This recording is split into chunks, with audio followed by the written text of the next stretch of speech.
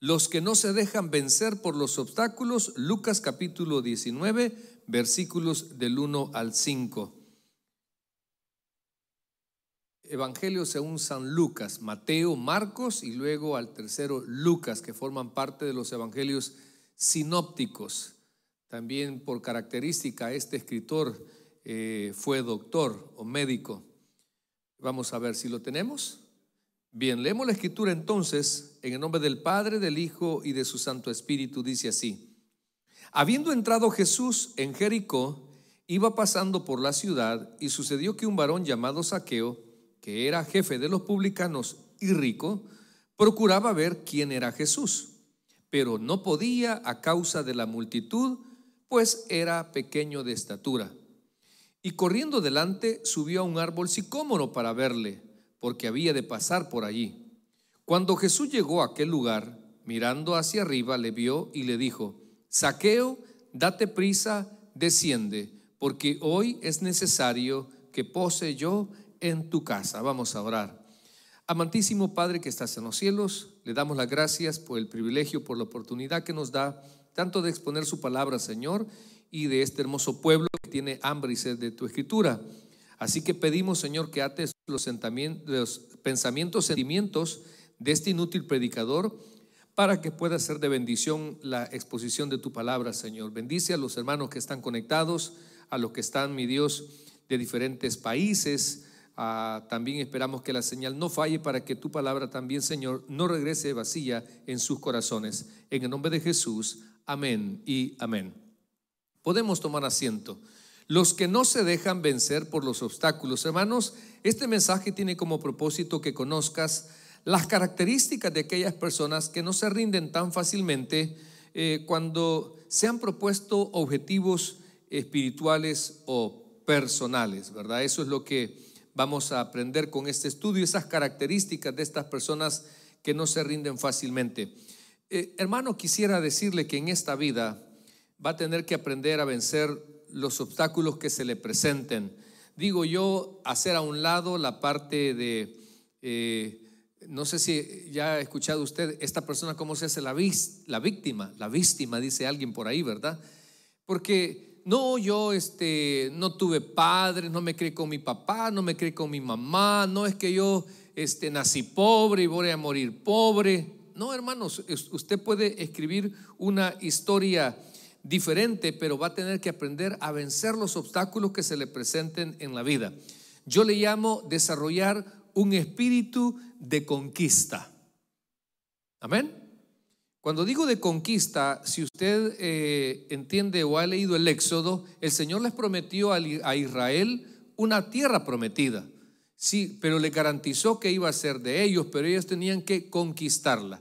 Y por eso me encanta el libro de Josué, porque este joven hermano siempre de noche en la palabra de Dios, pero asimismo Dios le dice los requisitos que necesitaba.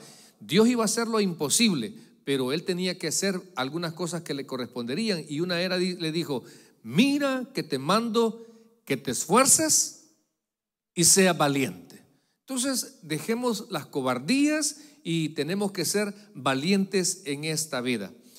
Eh, esta semana estuve hablando con una, con una hermana de la iglesia ya anciana. Eh, gracias a Dios ella ya es ciudadana americana.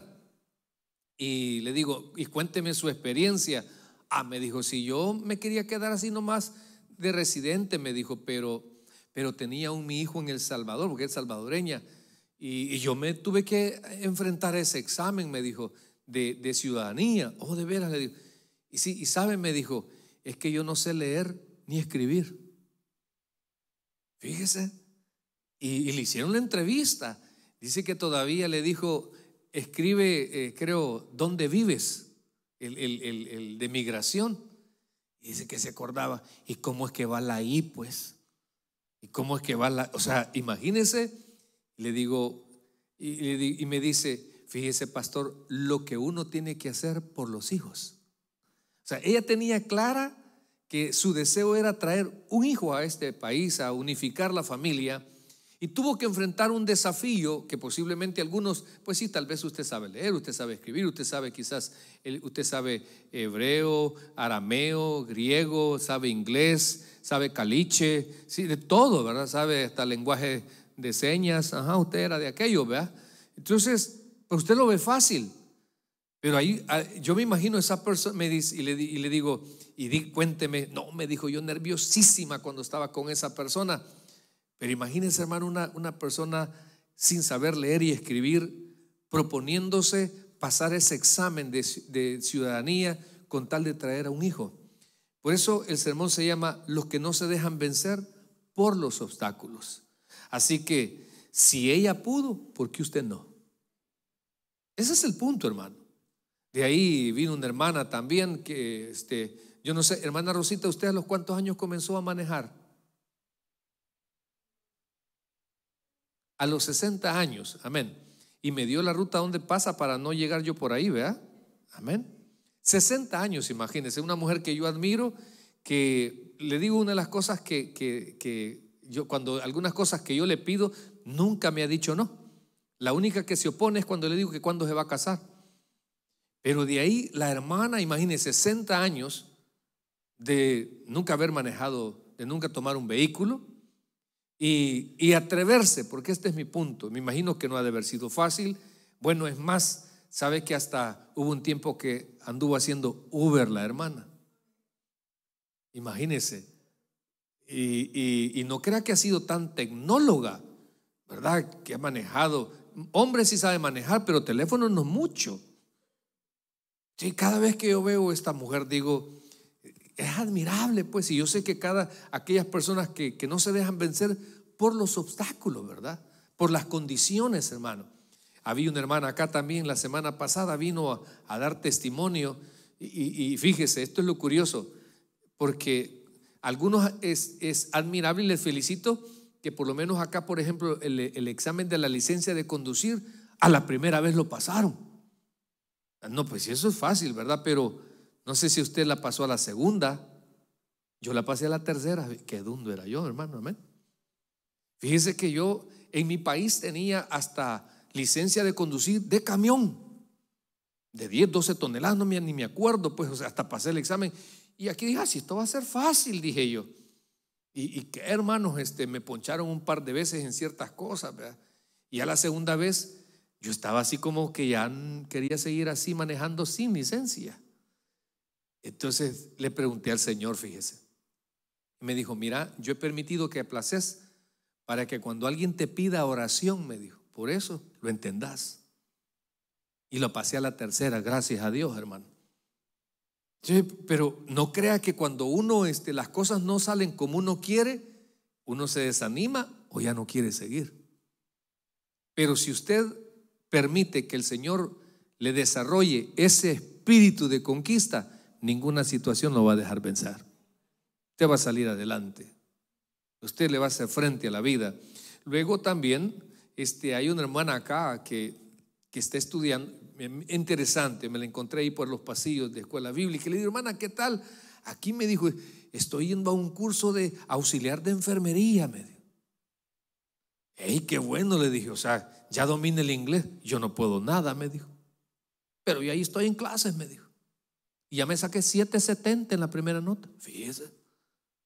Gloria a Dios, hermano. Pero ¿qué pasa, qué pasa muchos de nosotros? No, yo para qué me escribo si no sé mucho, ¿verdad? Por eso este mensaje va para usted, para decirle que con Cristo somos más que vencedores. Amén. Por eso, hermano, yo quiero que usted entienda que la fe es otra cosa. Hay principios que encontramos en la Biblia que, por ejemplo, de la mano con Dios, la edad nunca va a ser un obstáculo. Nunca, hermano. Nunca va a decir, ah, no, hijo, fíjate que a vos ya te, ya te fue la juventud. No, entonces no calificas. No, con Dios sí se puede. O viceversa, ¿verdad? El joven. No, es que yo soy muy joven. No, usted no. Usted es un hijo de Dios pero tiene que entender o tomar en cuenta que en esta vida, en el Señor, la edad jamás va a ser un obstáculo. Y, recordar también esto, hermano, Dios no hace acepción de persona. ¿Sabe uno de mis anhelos? Yo quisiera que Dios me regalara el privilegio de ver un presidente de origen latino. Que así como lloraron los morenitos cuando, cuando Barack Obama tomó posesión, ¿verdad? ¡Ey, uno de nuestra raza! Qué bueno, también nosotros, yo quisiera sentir ese gusto de decir, hey, mira, ese de, de, origen mexicano, de origen cubano, y por qué no quizás de origen guatemalteco. Amén. Aunque últimamente estoy resentido con ellos porque nos han penqueado en el fútbol, pero no importa. A nosotros los salvadoreños, México siempre, hermano, nos arrastra, así que no hay problema. Pero, pero qué bonito, pues, ¿verdad? Qué bonito poder decir, sí se puede, hombre. Y mucho más si somos hijos de Dios. Porque Dios no hace excepción de personas. Dios, hermanos, jamás nos elige por las virtudes externas que nosotros tengamos. Eso también que no lo limite, ¿verdad? El decir, no es que yo no yo soy malo para las matemáticas, no es que yo soy malo para para tal cosa, yo soy malo para el aprendizaje. Sí, usted, pero recuerde que hay cosas que las vamos a hacer con la ayuda de Dios, no solos. Ese es el punto, hermano. Pero tiene que, por eso le digo, tomar en cuenta. Número uno, Dios, con Dios no tiene nada que ver la edad. Por eso yo moriré creyendo que me siento joven atrapado en un cuerpo viejito. Está bien. Como está de moda el existencialismo, ¿verdad? Sí, hombre. ¿Por qué, hermano? Porque Dios realmente, no, no, mire, a Abraham, a Moisés, ¿de cuántos años lo llamó? De 80 años al ministerio. De 80 años. Yo conozco gente que eh, sus últimos días de vida le ha servido y bien al Señor. Productivo. Lo importante es no, no limitarse, pues, porque con Dios, mis amados, tampoco Él no hace acepción de personas. Mire qué bonito nosotros tenemos la oportunidad eh, de poder decir, nosotros en la iglesia tenemos eh, dos, tres hermanas que predican. Sí, o sea, hermano, qué bendición. No son pastoras, por supuesto, ¿verdad? Dios nos libre, con Dios nos guarde.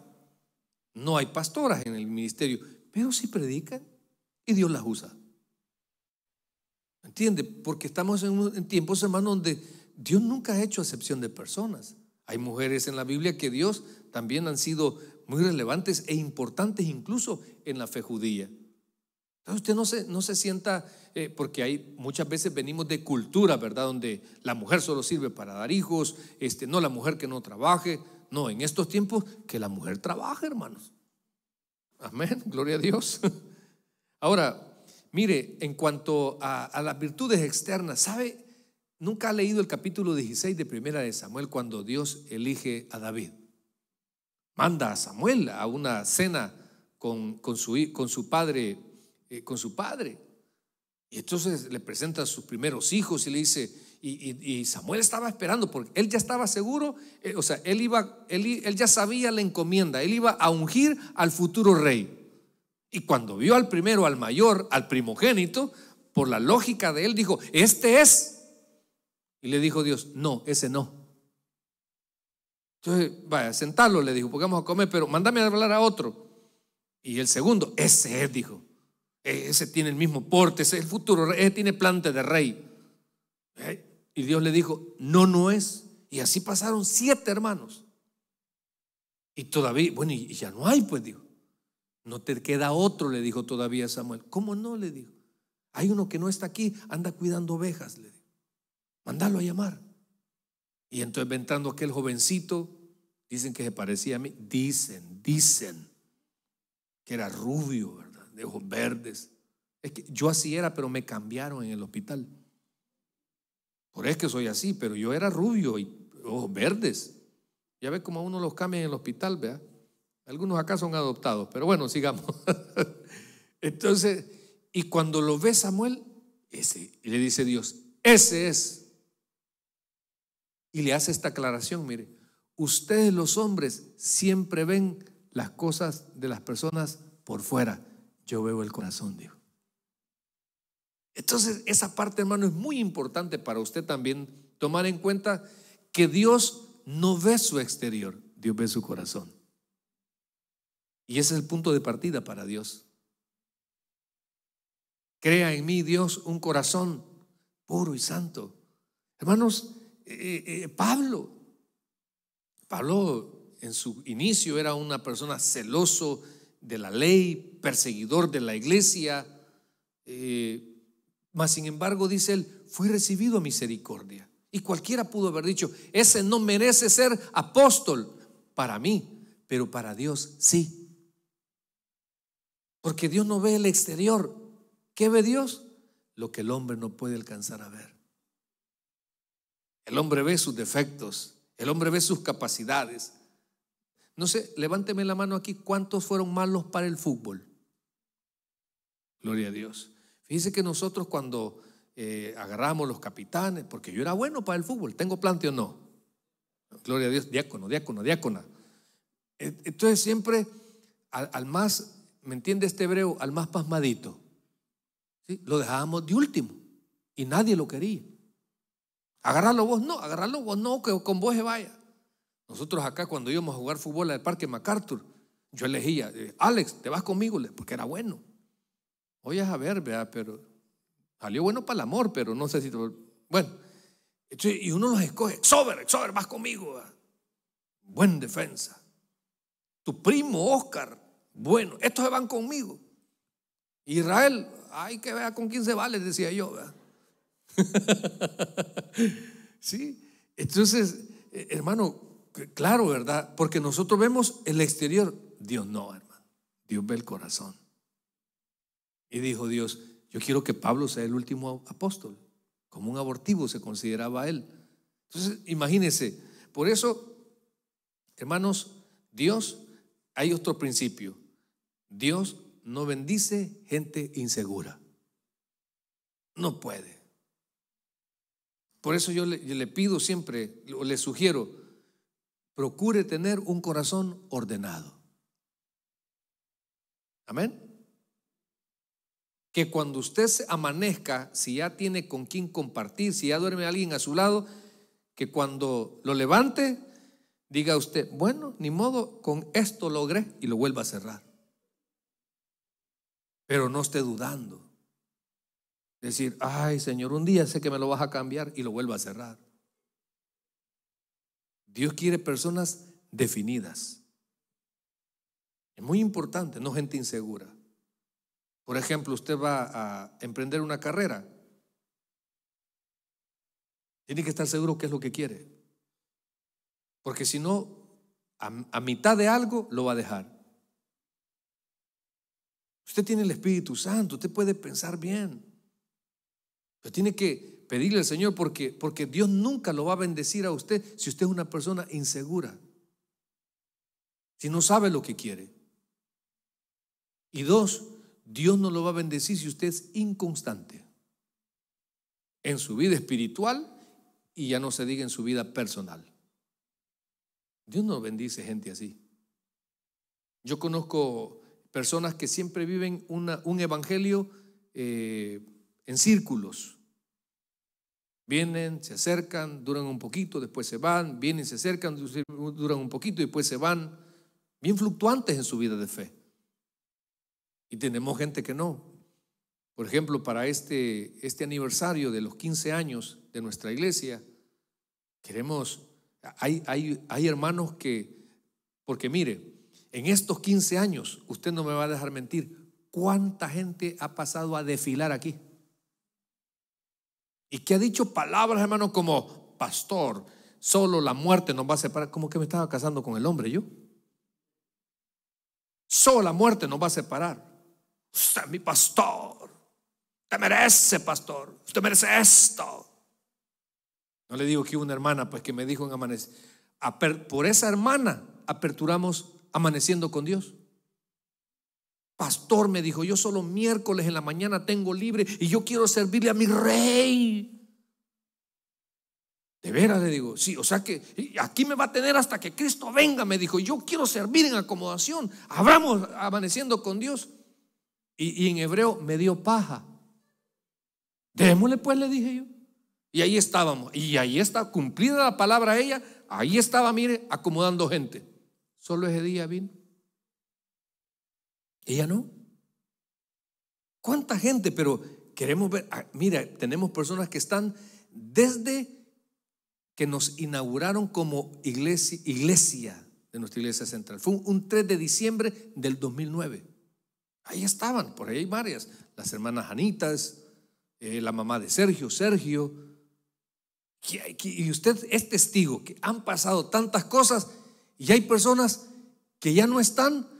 Hermanos, Dios no falla. Dios no falla, Dios no se equivoca. El problema es que permitimos nosotros que las circunstancias nos, nos, nos muevan, nos desvíen de la mirada de donde debemos de tenerla, que es en Cristo Jesús. Pero, pero gente inconstante. No, Dios no bendice ese tipo de gente. Veo serio, pero no me importa. Así que mire, le digo todo esto porque al analizar este personaje saqueo, no era casualidad que él era jefe y que era rico. No, no era casualidad. Como hay muchos de los que viven acá. Para llegar donde usted está, usted sabe que no ha sido fácil. Se ha pagado un precio. Ha habido sacrificio. Han habido lágrimas. Ha habido aguantada de hambre. Ha habido lloro. Han habido ganas de irse a su país, pero ha permanecido. No se ha rendido. Y ha hecho trabajos quizás que tal vez no han sido muy agradables, pero le ha hecho frente. Claro, porque eh, al, analizar este saqueo, hermanos, al, verle sus características, no, hombre, un hombre que no se dejó vencer por las, por las eh, obstáculos que se le presentaron. Entonces comienza diciendo eh, Lucas, sucedió que un varón llamado Saqueo, que era jefe de los publicanos, o sea, tenía gente a su cargo. Y decía, era rico. Eh, ¿Me acompañan a leerlo, hermanitas? Sucedió que un varón llamado Saqueo, que era, ¿qué dice? Solo, solo mujeres, digan, jefe de los publicanos. Hermanas, léanlo por favor. Era jefe y, y, y rico y money, money. ¿Mm? No honey, no money, no money, no honey. ¿Cómo es pues? Era rico, ¿verdad? Pero no era casualidad que había llegado ese, ese hombre hasta ahí. Por lo que presenta con Jesús, no hombre, este no se dejaba vencer.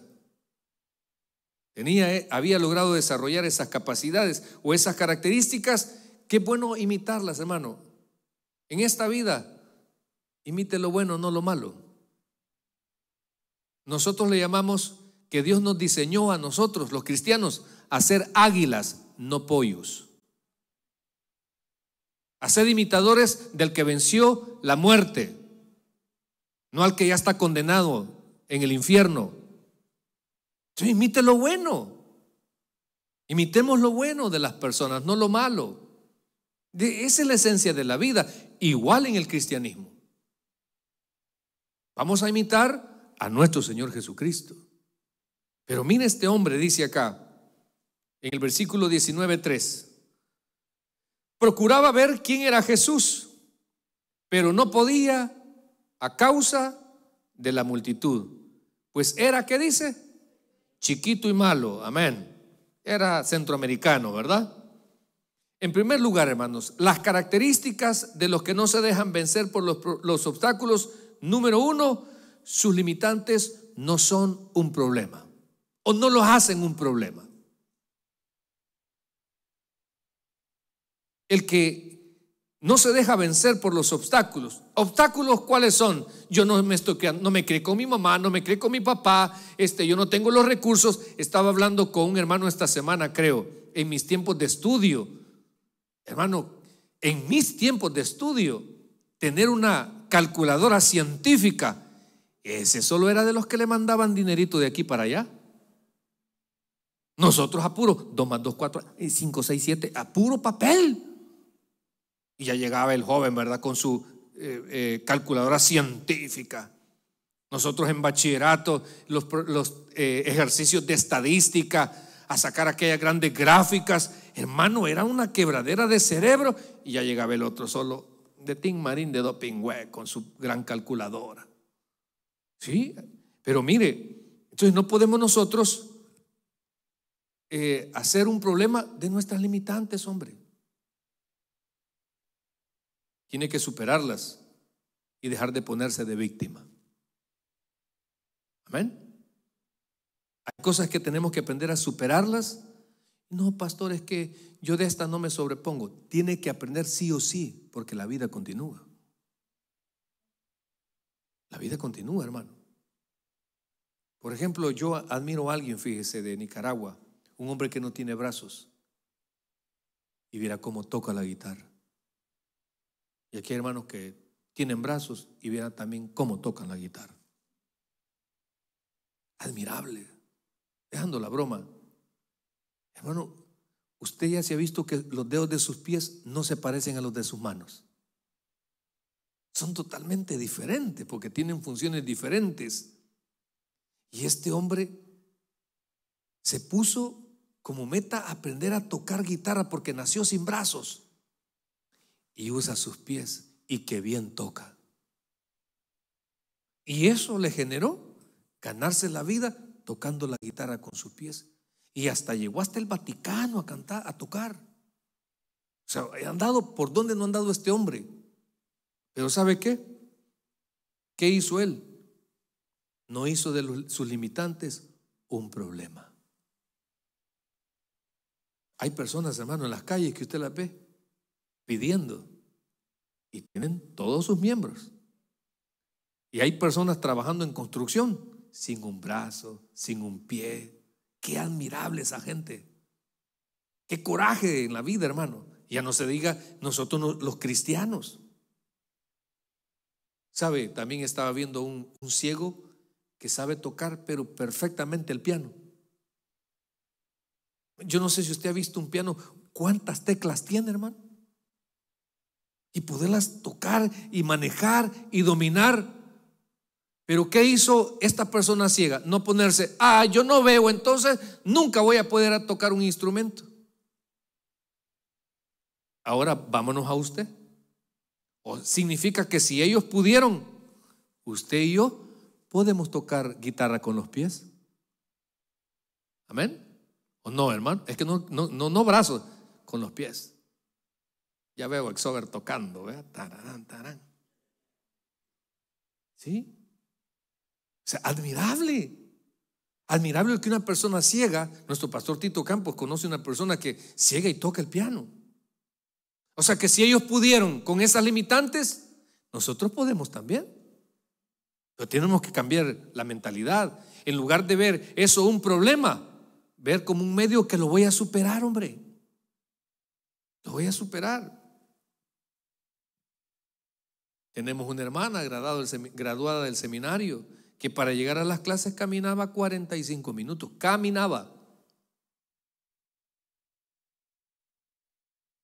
Tenemos hermanas acá que en sus trabajos para llegar a, las mansiones a encerrarse toda la semana tienen que caminar una hora y media. Y una vez me contó una hermana, ay pastor, perdí, el, perdí el garrote, me dijo. Perdí el garrote, le dije. Sí, me dijo. Es que con ese ven guardiando los coyotes, me dijo.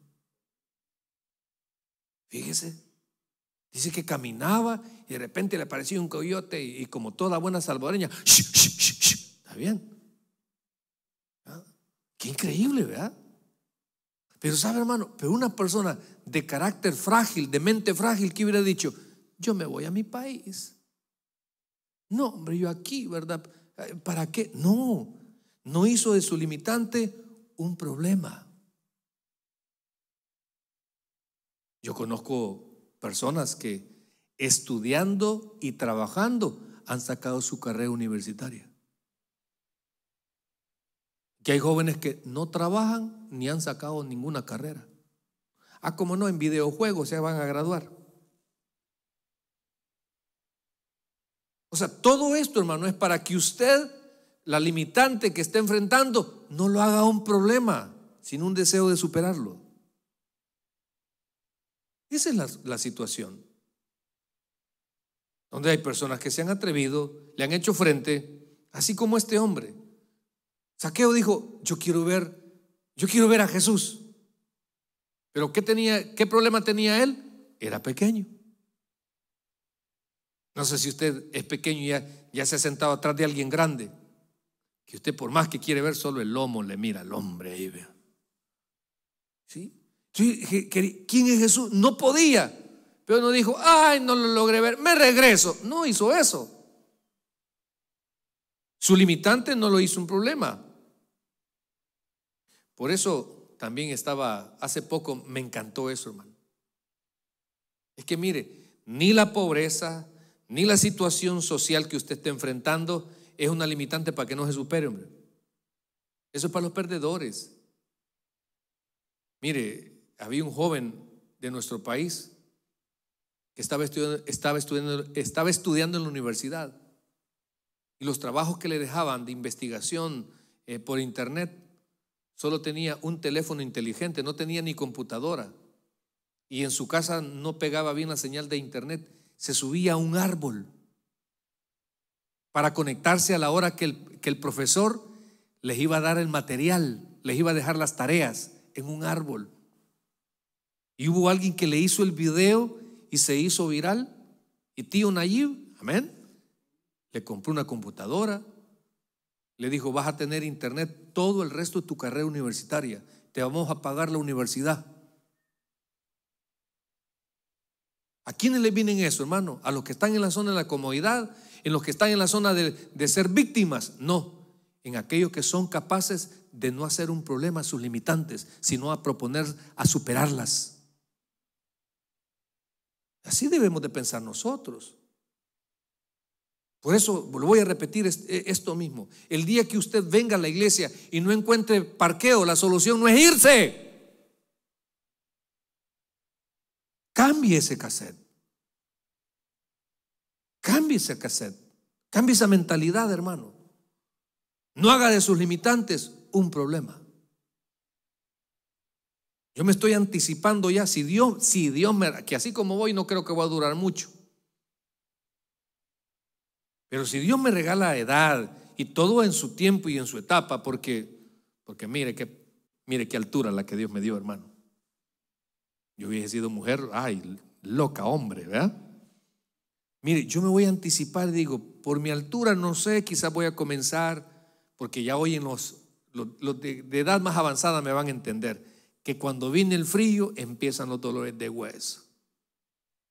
Empieza la rodilla, ay, ay. Yo antes, hermano, sonaba, sonaba la alarma, yo me tiraba de la cama. Sí, yo me tiraba y ya. Ahora si, si me habían, si me tiro, ahí caigo tirado. Y me levantaba, hoy, hoy no tengo que comenzar a ejercitar los brazos primero después las rodillas, después, y después no me tiro, me voy de cholladita, hermano. Y yo ya en el baño solo me tira, hoy con cuidadito me voy, me voy ahí como que voy arañita, mi hermano. ¿Qué me está diciendo eso? Que la juventud ya me fue, igual que usted. Yo digo yo, ¿y después qué va a venir después de los dolores? Posiblemente voy a tener que auxiliarme de un bastón. Y quizás después de que ya no pueda con el bastón, quizás voy a tener que usar silla de ruedas. Pero yo, ¿sabe qué quiero? Una silla de ruedas eléctrica. Yo no quiero que me anden empujando. Y quiero una canestita adelante. Pues si le doy raya a alguien, encárame de aquí. ¿Sí? Sí, hermano, yo, yo, no me voy a dejar vencer aquí. Ay, no, yo ya no puedo caminar y yo por eso ya no voy a la iglesia. No, hermano. ¿Sabe quién me encantaba a mí como cristiana? Una anciana que se llamaba hermana Julita en nuestra iglesia. Esa nunca se quedó en la iglesia. Esa a, medio mundo le andaba pidiendo ray. ¿Por qué, hermano? Porque tenía hambre y sed de la palabra. Porque no hizo de su limitante un problema.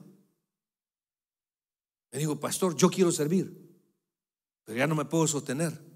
¿Será que me da permiso estar sirviendo con andadera? Me dijo. Sí, hermana, le di. Las que la recuerdan saben que en los paseos, allá aparece ella, con su andadera. No ponía, o sea, el que tiene deseo, no pone peros. te supera.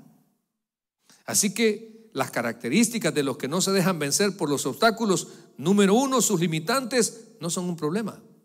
Número dos, acompáñame al versículo 19.4.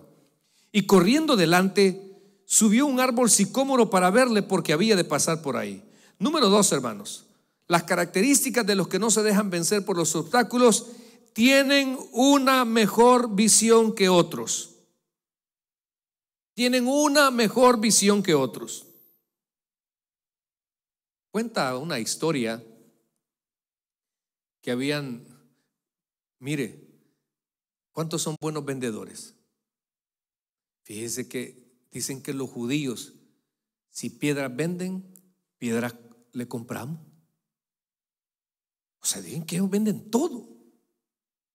Y mandan, había una compañía que se había propuesto, compañía de, de calzado, y le dijeron a un vendedor, te vamos a mandar a África a que vendas zapatos. Y se fue el hombre.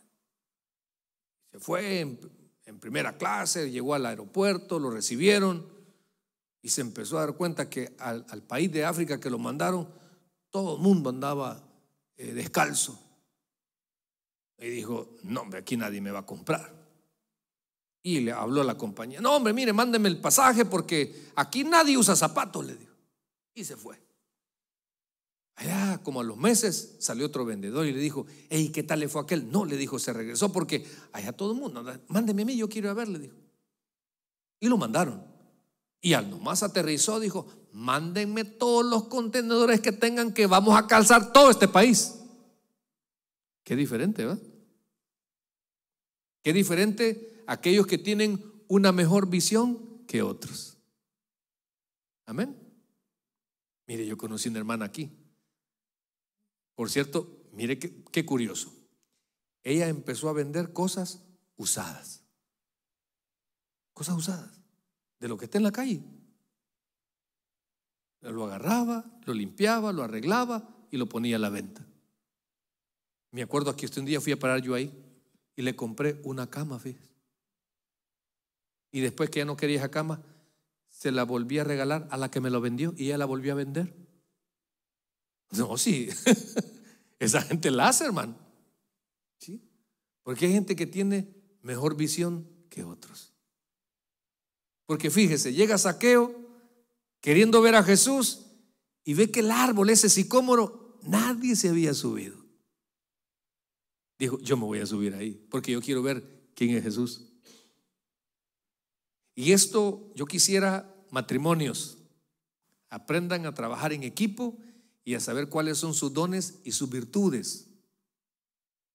Si por ejemplo usted no sabe administrar el dinero, usted no debería de ser el encargado, porque por su culpa la familia no va a prosperar. Tiene que ser la persona que es buena administradora. Ni un amén. Sí, tenemos que tener esa visión.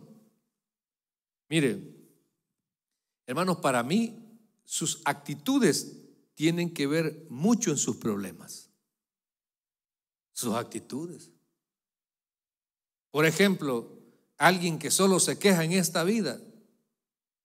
Hermano, ¿qué está haciendo? La vida no solo se hizo para quejarse. La vida se hizo también para pelear la buena batalla de la fe.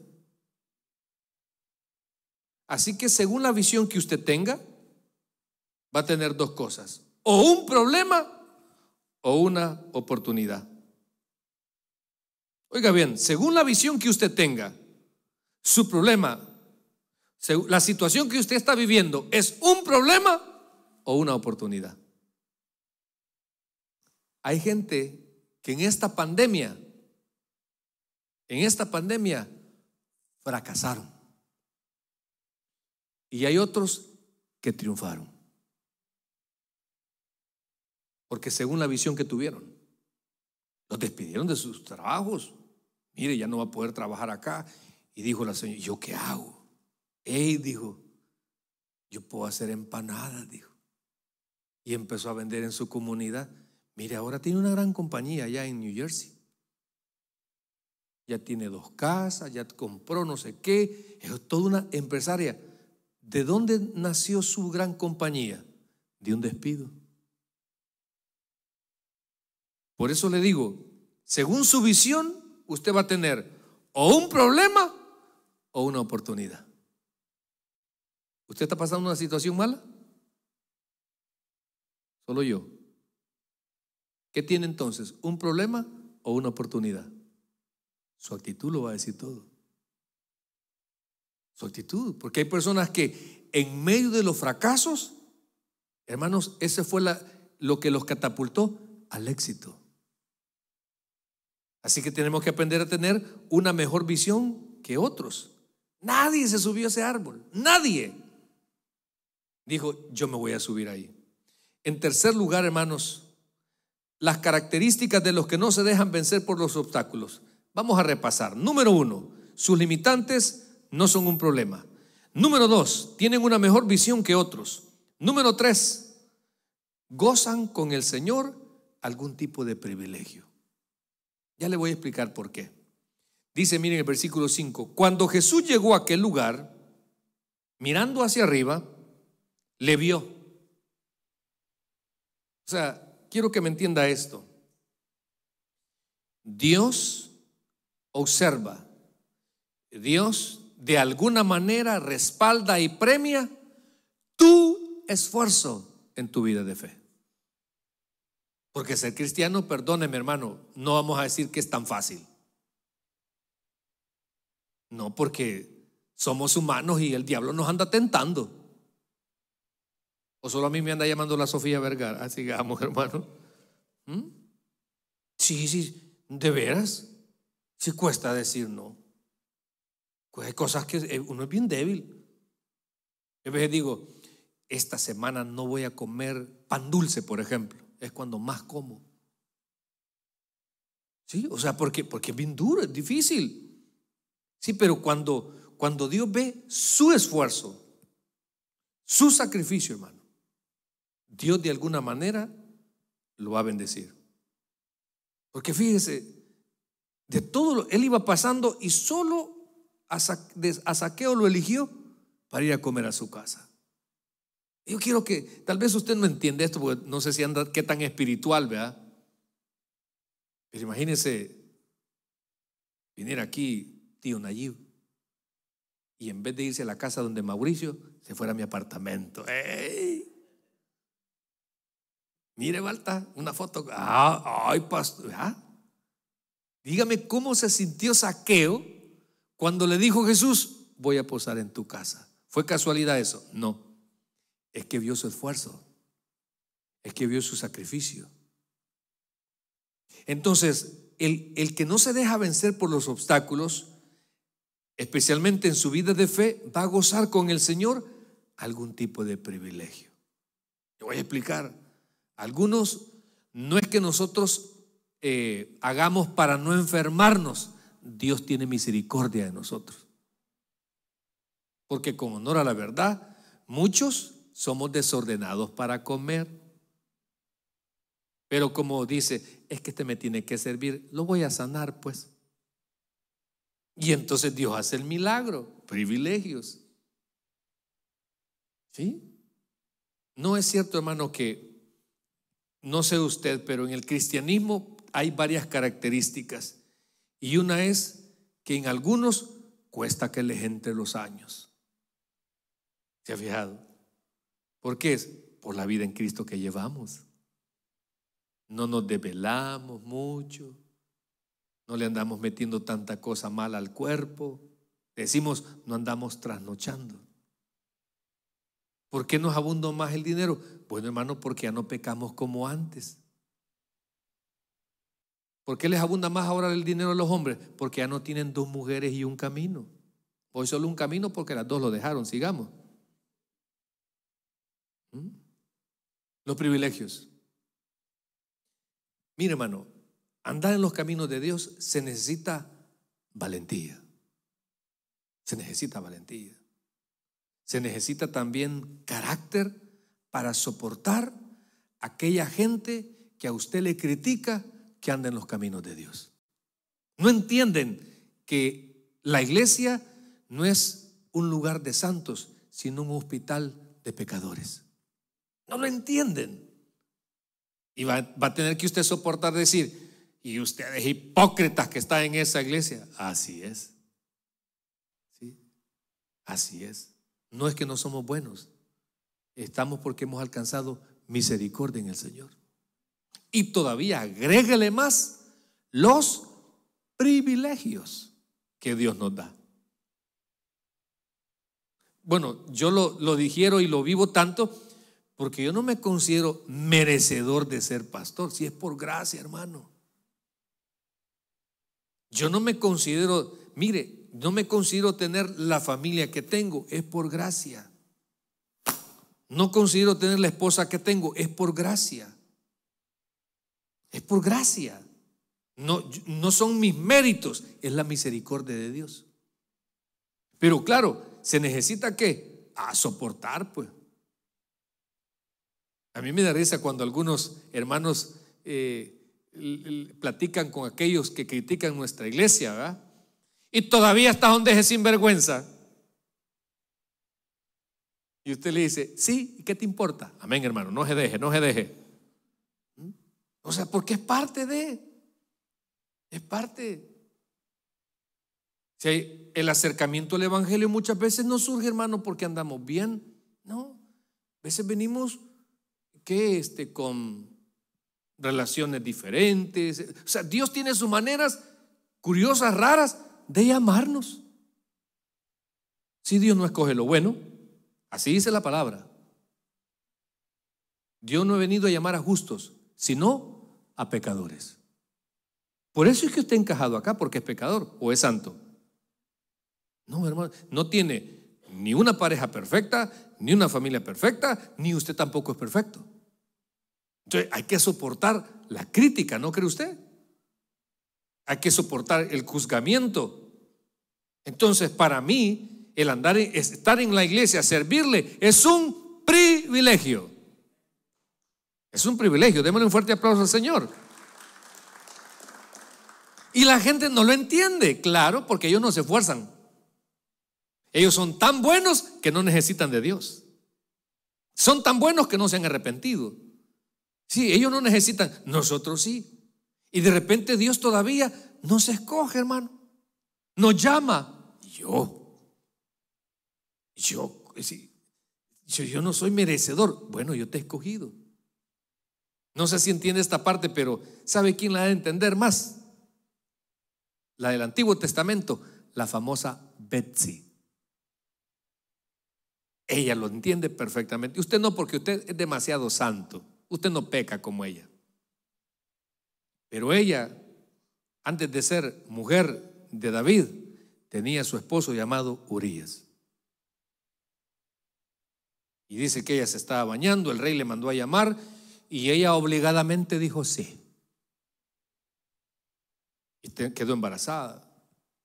Y ese niño se les murió. Pero después de toda esa historia difícil y dura, vergonzosa también, tiene otro hijo llamado Salomón.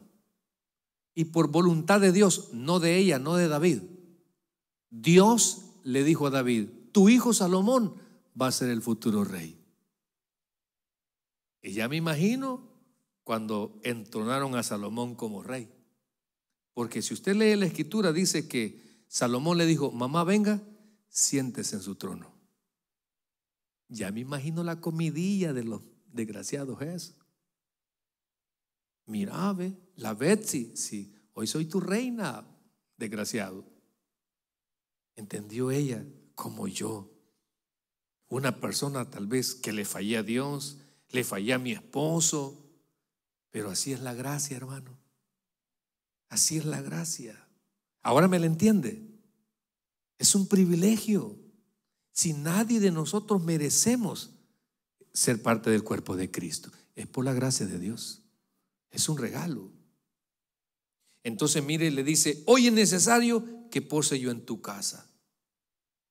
Si saqueo no era bueno, igual que usted, igual que yo.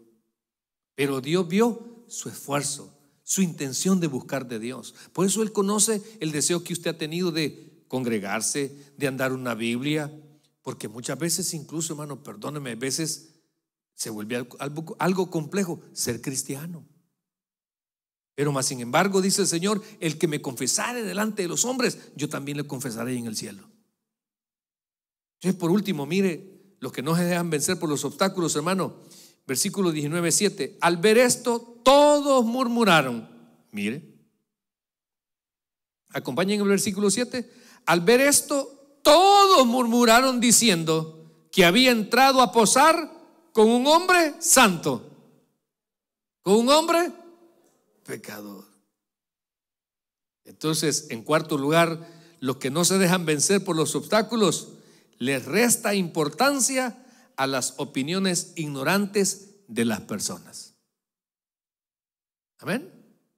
Le resta importancia a los comentarios ignorantes de las personas. Le voy a explicar esto. Usted, hermano, o habrá alguien acá que come de las críticas y los juzgamientos que le hacen la gente. A mí eso me ayudó a levantarme y a restarle importancia a esa Jezabel desgraciada que tanto que hablaba. Yo tenía una Jezabel, fíjese. No, hombre, mire, esa me, me agarraba, me restregaba, me aventaba, me escupía. Y así hay otros más que Dios en su tiempo se va a encargar. Pero estaba un poquito así como, decía yo, ¿y qué tanto mal le he hecho yo a esta señora pues, para que me ande así de trapeador? Si lo único que he hecho es apoyarla en su escasez, apoyarle, interceder para esto, para otro, para aquello. ¿Qué tanto, pues? Estaba un poquito así como, como, como triste, ¿verdad? Y un hermano que me conoce me dice, pastor, yo lo veo así raro, me dice, ¿qué le pasa? ¿Ha tomado? Me dijo. Solo ganas tengo, le dije. ¿Qué le pasa? Me dijo. No, hombre, le digo yo, yo no sé por qué la gente es tan mal agradecida. Me dijo, mire, pastor, me dijo, y esa persona, es, esa me dijo, ¿cuándo le ha dado un 5 para que usted pague la renta? Nunca le di. ¿Cuándo le ha dado un 5? Me dijo, para que usted coma. Nunca. Me. ¿Cuándo me dijo? Le, y empecé, mire, le dije yo, tiene toda la razón. Entonces, en la vida de fe, esa gente que habla mal de usted, ¿le pagan la renta, hermano? Entonces que coman chucho. ¿Entender comer chucho? Y si son coreanos que coman gato, pues sigamos, mire. Entonces, muchos desconocen su esfuerzo y su sacrificio. No saben de dónde usted viene, no saben el precio que han pagado.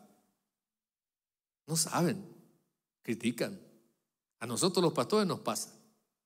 Mire, si no prosperamos, algún pecado tiene el hombre, algo está pagando. Porque no puede ser que el hombre esté tan viva tan miserable. Y si tengo algo, está robando, está robando. Con la gente nunca se queda bien.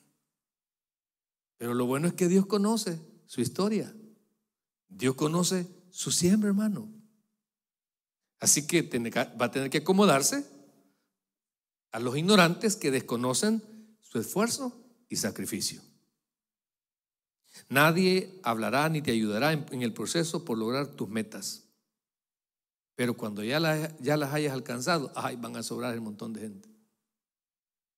Yo tenía un hermano en Cristo, fíjese, que allá en mi país la suegra no lo quería, hermano. Siempre le decía a la, hija, ¿con quién te fuiste a meter? ¡Qué barbaridad! Porque hay suegras así todas despectivas. Gracias a Dios, las de aquí, el Taber, todas son diferentes. Amén. Gloria a Dios. Y entonces, pues se vino para acá, para Estados Unidos. Y cuando la suegra se dio cuenta que ya estaba aquí, le llamó y le dijo, siempre te vi que eras un hijo para mí, le dijo. Quería dinero. Así hay gente, hermano. Entonces, pero mi punto es este. Mire, cuando usted está claro que no se va a dejar vencer por los, por los obstáculos que se le presenten en la vida, le va a restar importancia a las opiniones ignorantes de la gente. Amén. Vos por interés estás, vos por esto, mire, que hablen y digan lo que quieran. Solo Dios y usted conoce la intención de su corazón. Démosle un fuerte aplauso Señor. Vamos a orar. Padre, te damos las gracias por tu palabra. Te suplicamos, Señor, que puedas bendecir la vida de fe de mis hermanos y que podamos, Señor, en esta vida imitar las características de Saqueo. Un hombre, Señor, que no es por casualidad, que llegó lejos como publicano. Vemos, Señor, que cuando se propuso verte, esa curiosidad, Señor, fue bendecida. Mi Dios, en primer lugar, su estatura no fue un problema, se las ingenió. ¿Cómo superarla? ¿Cómo echar mano de otra cosa para alcanzar su propósito? Pido, Señor, que bendigas a mis hermanos con una visión clara de por qué están en este país. Pido, Señor, una visión clara de matrimonio, una visión clara de estudios, una visión clara de servicio. Señor, en el nombre de Jesús, los que no se dejan vencer por los obstáculos de la vida, de alguna manera, Señor, también tú los premias, también tú los motivas, Señor. Así como este hombre que tuviste el esfuerzo y el sacrificio que había puesto para querer verte. Asimismo, Señor, hay hermanos que desafían las distancias, desafían, Señor, el cuerpo cansado, el cuerpo enfermo, el estado emocional, para poder, Señor, tomarse de tu mano y continuar peleando la buena batalla de la fe. Así que oramos, Señor, por aquellos que su tristeza no fue obstáculo para venir a la iglesia. Que su tristeza no ha sido obstáculo para servirte. Que su tristeza no ha sido obstáculo para dejar de trabajar. Que su tristeza no ha sido obstáculo para dejar de estudiar, Señor. En el nombre de Jesús, también, Señor, sabemos que cuando a medida que nos superemos, sobrarán las personas que van a hablar y decir un montón de cosas ignorantes. Pero Gracias Señor te damos porque no permitimos que eso se convierta en algún tipo de resentimiento u odio hacia las personas. Señor, sino al contrario, lo único que hacemos es restarle importancia. No nos roban la paz, no nos roban el sueño, no nos quitan el hambre. Señor, porque sabemos que los privilegios vienen de ti, Señor, no porque seamos las mejores personas, sino porque tu amor ha excedido nuestro, nuestra razón. En el nombre de Jesús, Señor, oramos por el amigo, por aquel que no le conoce. Seguramente usted ha hecho un esfuerzo por buscar de Dios, buscar de su palabra. Ahora le invitamos que puedan hacer de nuevo. No hablamos de un cambio de iglesia, ni tampoco un cambio de religión. Quisiéramos decirle que Cristo le ama. Repita después de mí esta oración. Señor Jesús, en este momento yo te abro mi corazón te pido que vengas a mi vida. Hoy me arrepiento, reconozco que soy pecador. Perdóname, Señor. Creo que tu sacrificio en la cruz y esa sangre derramada es la única que tiene poder para perdonar mis pecados. Gracias, Padre, por enviar a tu Hijo, al Mesías esperado por Israel, para morir en mi lugar. Gracias, Jesús, porque el día que yo muera, seré llevado al cielo. No porque pertenecía a una religión, sino porque te acepté como mi Salvador de mi alma. En el nombre de Jesús. Amén y amén. Bueno, le damos un fuerte aplauso a nuestro Señor Jesucristo, iglesia.